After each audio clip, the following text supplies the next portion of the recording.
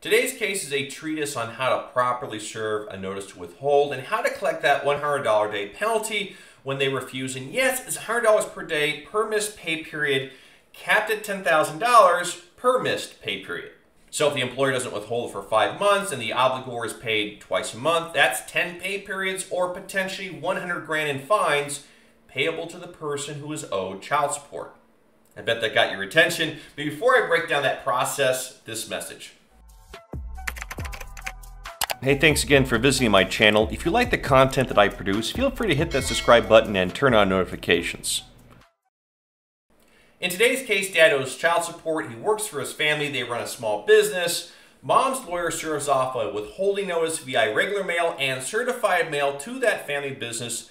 The family business refuses to sign for it and no support is garnished. Mom sues the employer. The employer says, you know, haha, you didn't, we didn't sign for it, so you can't get us as the statute requires service via certified mail return receipt or process server. The judge and appellate court disagree and say you knew, you ignored, you owe. The employer is in order to pay mom 66 grand, although that part of the judgment is reversed because there was a minor computational error. So it ends up being a little bit less than that, but it's still pretty significant. Now let's break down how this is all done into maybe easier to follow steps. First, after a uniform order support is entered, the obligee, that's the person who's owed money, well, they serve off a withholding notice. The notice itself must be regular on its face, meaning everything has to be filled out as listed in the withholding statute, especially in the withholding statute, there's a section 20C which lists 11 criteria from font size to having correct court dates. Any defect to that let's say leaving out the SSN number, that can be fatal to the request for that $100 day penalty later on. The manner of service, if you're looking to enforce that penalty, must either be by process server, sheriff, or certified mail with return receipt. However, in today's case, if the employer had constructive notice, that too counts. Specifically, the owners were aware the parties were getting divorced, the notice was also served off to multiple people in the company via regular mail, and the certified mail was returned with the, with the words refused written on it. Taken together, that all was enough for the judge and the appellate court to take the position the employer knew and they were simply dodging it and knowingly refusing to withhold garnishment. So let's go over the process here. Under the statute, the employer has 14 days from the day of mailing to withhold the money. Once they start withholding the money, and this part is important, they have seven business days thereafter to remit the money. Now, as we all know, business days exclude holidays and weekends. If that deadline is blown through, however, it doesn't kick in. You still have to serve off a delinquency notice pursuant to, sub, uh, to paragraph 45J of the withholding statute. Now, unlike the notice withhold that you can download online, the 45J notice is actually something you have to draft from scratch and it has to strictly conform to the statute. The 45J notice, similar to the original notice, has to be uh, served via certified mail return receipt, but, and there's always a but, the payor slash employer, they get 14 days from the day they receive the notice to either withhold or explain why they didn't withhold. If all those dates are blown through, then that $100 per day penalty is triggered retroactive to the first pay period that should have been garnished.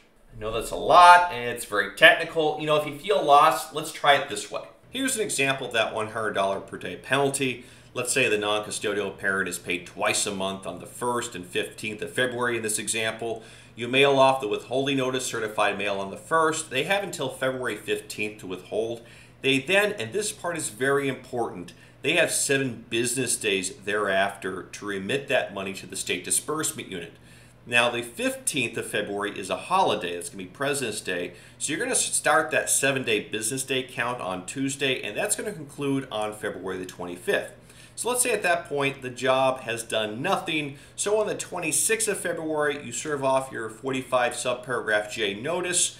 Now remember, it's the day it's received that counts. So let's say nobody signs for the delinquency notice until the following Monday. From there, they have 14 days to get their acting gear and either remit the money or explain why they can't. And if by that 15th day of March 15th, nothing happens, now let's say on the 16th, they finally get their acting gear. Theoretically at this point, they owe for three pay periods no matter what they do. February 15th, March 1st, and March 15th. And the amount they owe as of March 16th would be $2,900 for that first missed pay period, $1,500 for the second missed pay period, and $100 for the third missed pay period, or a total of $4,500. Now remember, it's every missed pay period, so every day thereafter under this example up through the end of the month is actually going to be a $300 per day penalty because you have three missed pay periods. It's really not a bad haul if a job is playing games. Now the case law is very clear. Every I has to be dotted, every T crossed. If you mess something up, you don't pass go, you don't collect $100. Anyways, that's all I have. Thanks for watching.